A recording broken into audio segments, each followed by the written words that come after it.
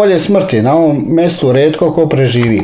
U Donetskoj narodnoj republici ubijeno je 4400 civila u ukrajinskim granatiranjima od 17. februara, kada su povećane tenzije. Objavila je danas misija Donjetske narodne republike pri zajedničkom centru za kontrolu i koordinaciju pitanja u vezi sa ukrajinskim ratnim zločinima.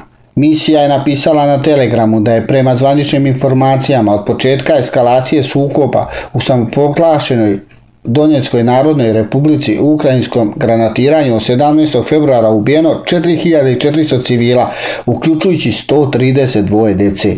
Prema podacima misije tokom ovog perioda povređeno je 3956 ljudi, uključujući 249 dece, a oštećeno je oko 9336 stambenih zgrada, 2242 civilna infrastrukturna objekta.